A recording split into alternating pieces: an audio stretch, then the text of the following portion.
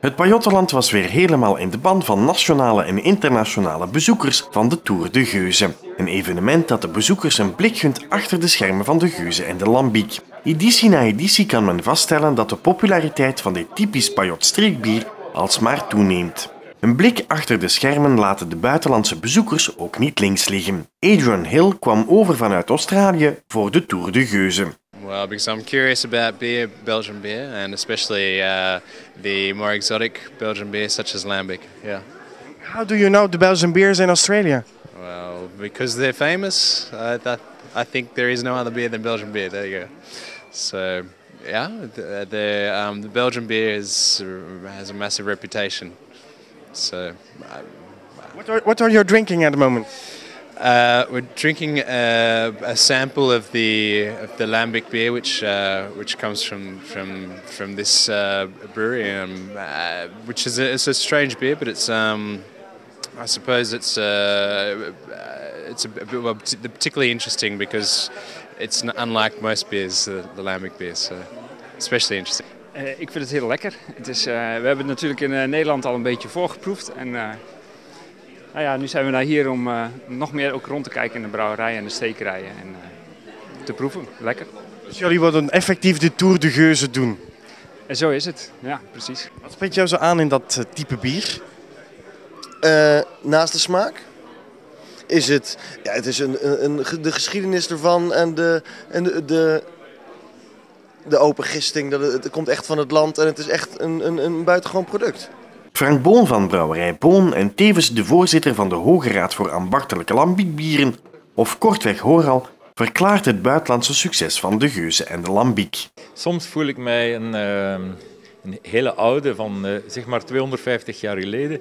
Want het is eigenlijk van rond 1750 voor eerst dat Belgisch bier werd geëxporteerd. En dat was Geuze. Het had toen nog wel een andere naam, maar het was Geuze. En het is altijd, al die jaren, het enige en het speciaalste Belgisch bier geweest dat zeer bestendig was en ook eh, dat verbetert eh, met jaren eh, in de kelder te liggen. En veel buitenlandse brouwerijen kopiëren onze Belgische bieren. Ze kopiëren witbier, de abdijbieren, u kent ze allemaal.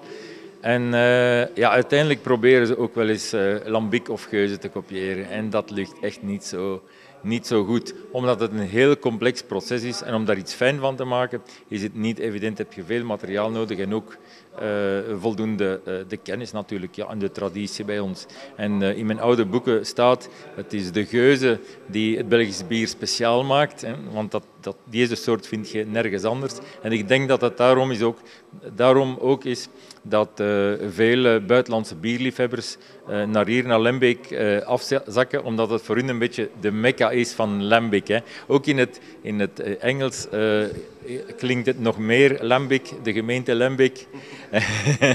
en eh, dan komen we zo eh, eigenlijk eh, ons bezoeken voor het bier, maar ook voor de, de lokale sfeer op te snuiven.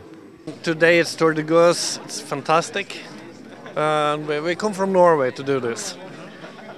They drink uh, Belgian beers in Norway? Oh yes, indeed. Um, very fond, very fond of uh, Belgian beers in Norway. Um, it's quite a beer scene now in uh, in Norway, and Belgian beers are, of course, among the best. That's why we come here to to the source, to um, to the originals. Um, yeah. Um, sour beer is a sort of uh, acquired taste, but when you first get the hang of it, you can't you can't stop. it's um, Voor wie het allemaal gemist heeft, binnen twee jaar krijgt u opnieuw een kans. Of u kan in afwachting al de digitale Tour de Geuze doen. Niet elke brouwerij heeft voldoende personeel om rondleidingen te organiseren.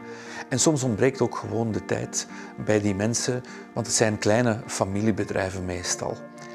Maar daarom hebben de leden van Horal het initiatief genomen om die digitale Tour de Geus op de kaart te zetten en ervoor te zorgen dat hun verhalen het hele jaar door, lente, zomer, herfst, winter, kan je voortaan genieten van de verhalen van onze brouwerijen en stekerijen.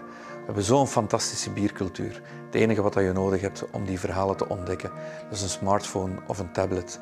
En dan gaat een hele wereld voor u open. Wat heb je nodig? Een smartphone, iPhone, iPad of tablet met mobiel internet. Op het toestel moet een zogenaamde QR-reader geïnstalleerd worden. Zo'n QR-reader kan je gratis downloaden via de App Store of via Google Play.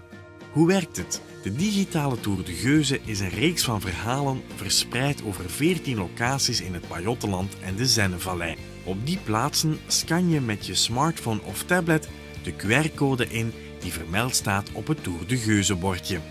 Aanvankelijk van de snelheid van je internetverbinding start enkele seconden later een informatief filmpje. Op die manier kan je tal van interessante weetjes en verhalen ontdekken uit de wereld van Geuze en Kriek. Veel plezier met de digitale Tour de Geuze en vergeet het niet, ons vakmanschap drink je met verstand.